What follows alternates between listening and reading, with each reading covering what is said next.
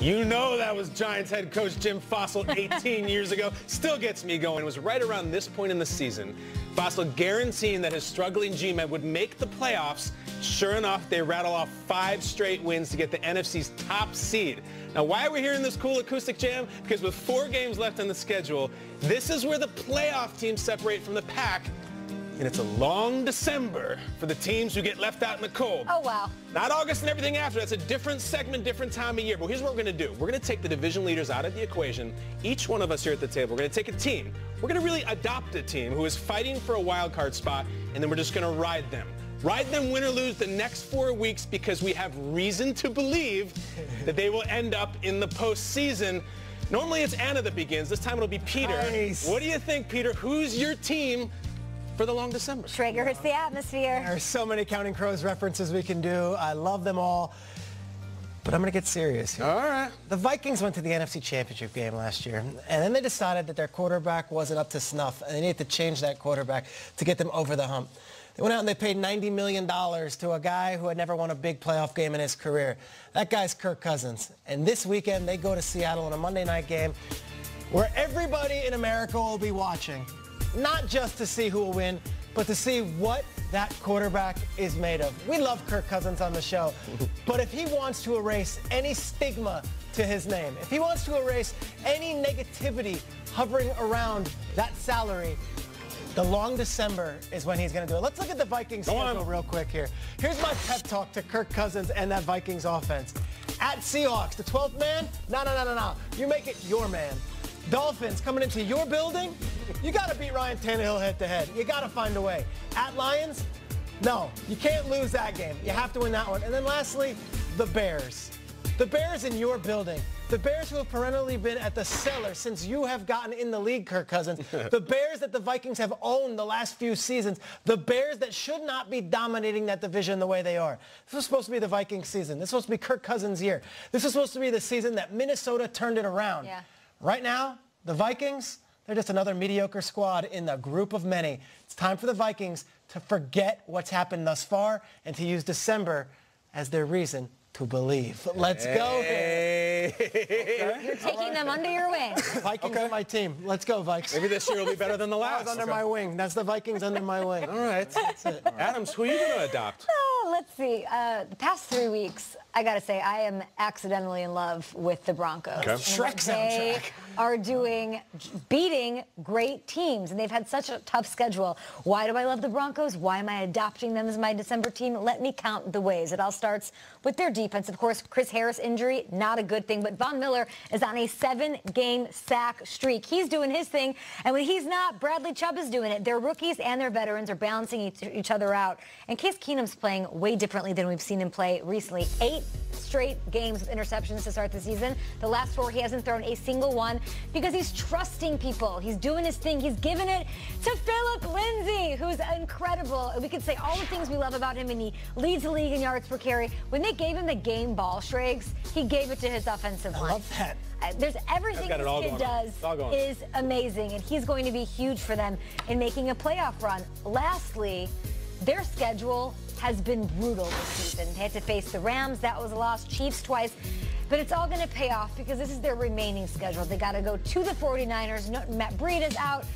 I don't. I think they'll win this one easily. Browns at Raiders and Chargers. They could win out. And having that hard schedule, they're still sitting at six and six with two huge wins over the Chargers on the road and against the Steelers and just this past week. So I feel like with that schedule, they're going to make a run. They have what it takes. Okay. All right, let me jump in. And they're playing like they're they're around. They're playing for their coach. Like you can just see it the past couple Let me jump in. I'm going with my former team, the Seattle Seahawks. You talked about Bobby Wagner earlier in the show, and you said he is his own Legion of Boom. I mean, with that pick six, filling up stat box, he is the anchor of that defense. So that defense is heating up. And of course, that offense is fantastic. I mean, it, it really doesn't get better than what they're doing per game, rushing the ball, averaging 148 yards. That leads the NFL. And how about Russell Wilson? Russell Wilson, 24 TDs, just two interceptions in the last 10 games. You're saying, Nate, well, that's the last 10 games. I'm glad you said that. You want to talk about the month of December? Yeah. Russell Wilson, the month of December, since 2012, only Tom Brady has more wins. Tom Brady, the GOAT! okay? But Russell Wilson, the month of December, here's something Tom Brady doesn't have. He has the highest passer rating since 1970. Yeah, that's Russell Wilson, 103.3. Now let's talk about this schedule, the remaining schedule, if you will. They play Minnesota, okay, at home. You got the 49ers. That's a winnable game. You have the Chiefs at home. And then the Cardinals at home. I don't know if you guys ever been to Seattle. It's a tough place to play, mm-hmm. especially this time of year. It gets a little chilly. Mm-hmm. You have Russell Wilson, who's so good, and that defense. Oh, that defense starts playing so well. So I wrote a little something, a little poem. Here we go. Will. Let's do it. Can I have my camera? Here we go. Take this, Adam Duritz. Little spoken word about my Seahawks. As the weather gets colder, our defense gets stronger. Your big plays become shorter. Our drives become longer. And for the Seahawks, this will be a month to remember because nobody is better than Russell Wilson in the month of December. Let's go, Seahawks! Let's go! People thought Mrs. Potter's lullaby was well written. That that trumped that. Let's go. Let's Up go in Seattle, that would You're make right. you that would make you the Rain King, right? Yeah. yeah. I would I would adopt Oh, my. the Seahawks based on celebrations alone Celebrations. for the month. Macarena. Production, Chilling. baby. I felt like that poem took us to a cool bar and playing drums with a brush. Yeah. You know what I mean?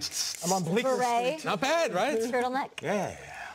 Uh, all right, woman. Whoa, man. I'm going to go down. Uh, Yes! Let's go from Seattle down to the South Beach. I'm going to take the Miami Dolphins. Okay. Because why not? I'm going to give a little perspective for people outside of their devoted fan base what the deal is with the Miami Dolphins. No one cares about you. No one watches your game. No one talks about you. You are the gum on the bottom of the AFC playoff picture shoe. The only reason you're in the conversation is mathematics. That's keeping you in it. Uh, people probably think your most famous player on the team right now is Dan Marino. If it's not Ndamukong Suh, um, they don't really care about other than 20-year-old Will Smith songs and 30-year-old Don Johnson TV shows. What they're not remembering about you Miami Dolphins is one-year-old Patriots beatdowns, two-year-old 10-win seasons. No one hear about that. Don't even talk about it. Don't even talk about how you beat the Bears this year with your backup quarterback that you pulled off the streets. And nothing is better about this team than the steely gaze of their head coach, Adam Gase. This is everything to me. I know Adam Gase was told recently, he said, you know, Coach Gase, you guys are 29th in offense right now. You're 29th. You know what he said? He goes, great. Next question. Great. That is exactly what I want from this team. No one cares. The numbers aren't right. They beat the Patriots every time the Patriots come to Miami, almost every time. And I love that. They are king slayers when the Patriots come to Hard Rock Stadium, or whatever the hell it's called. So here's what I'm going to say to you guys. I also think the Dolphins need a bit of a rebrand, all right? Okay. Dolphins, you're thinking Paul Hogan, Elijah Wood, and all that dumb song and all friendly. Do you know that the New York Times published an article about dolphins talking about how there's growing evidence that dolphins are in fact ruthless killers? Yeah. Dolphins have been found to bludgeon Really? porpoises to death by the Oh, come on. hundreds. It. Dolphins seem to have murderous urges unrelated to the need for food. That's the New York Times. Fake news. Read it. New York Times. I didn't write it. So this is what I'm saying. This is the kind of dolphin that we need. The angry one, the one that takes their cue from their head coach. I'm riding with them. I don't care that the Patriots are on the schedule. I'm behind Gase. You know what I say? Great. Yeah!